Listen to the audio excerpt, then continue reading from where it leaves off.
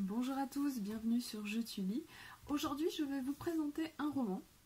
Un roman qui est destiné aux adolescents, euh, je dirais à partir de la quatrième, les cinquième, sixième, cinquième pour les bons lecteurs, pour les enfants déjà assez matures. C'est pas un roman qui est très difficile en termes de euh, quantité de lecture, vous voyez, il n'est pas très très épais, euh, en termes de difficulté de lecture, c'est assez, c'est une lecture qui est assez aérée, qui au niveau de la langue est assez facile. Par contre, l'univers est vraiment original euh, et moi m'a vraiment transporté. Donc j'avais demandé à recevoir ce livre parce que j'avais vu que qu'il avait reçu le prix Gulli. Donc là, il y a quelques semaines, en octobre. Euh, voilà, donc c'est un roman écrit par Véronique Petit, qui je crois est assistante sociale dans le civil. Euh, on voit que c'est quelqu'un qui connaît les adolescents, j'ai l'impression. Euh, et ce roman, il s'appelle Le mot d'Abel, il est édité aux éditions Rajo. Voilà. qu'est-ce que qu'est-ce qu'on lit là-dedans? C'est une dystopie une dystopie, donc c'est-à-dire c'est un univers qui est très très semblable au nôtre. Euh, ça pourrait être euh, notre monde, notre époque, mais à quelques détails près. Et le détail, c'est que dans ce monde, chacun reçoit au début de l'adolescence, vers 12-13 ans, un mot. Un mot qui va guider sa vie, peut-être la définir aussi. Et euh, le héros du livre, donc Abel, attend son mot et son mot n'arrive pas et ça le stresse beaucoup beaucoup. Euh, donc on lit au début du roman tous ces questionnements autour de cette histoire de mots et il y a aussi également un contexte plus politique.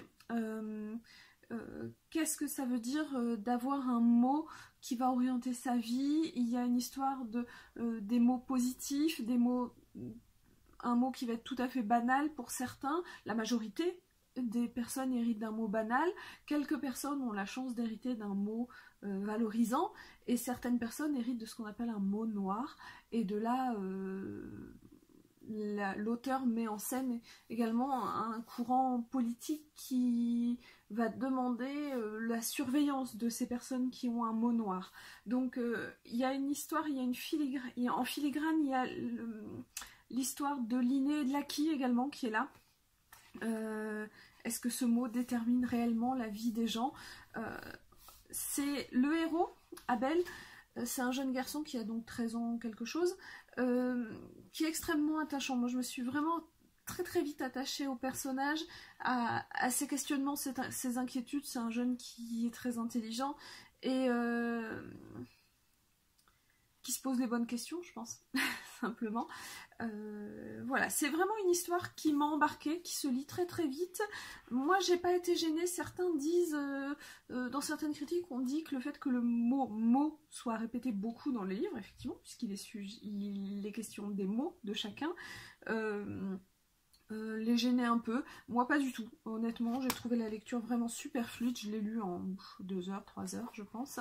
Euh, donc voilà, une histoire, une dystopie extrêmement troublante euh, à plein d'égards.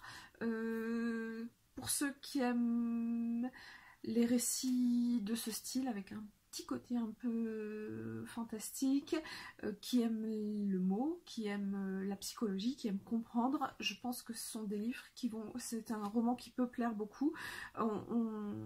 Oui, voilà, par exemple, sur la couverture, vous voyez, il y a des personnages et il y a des exemples de mots. Donc il y a le mot voler, le mot vérité, le mot nuage, le mot créer, égoïste, seul, protégé, beau, qu'est-ce que ça fait d'hériter de ce mot et de l'avoir en tête en permanence.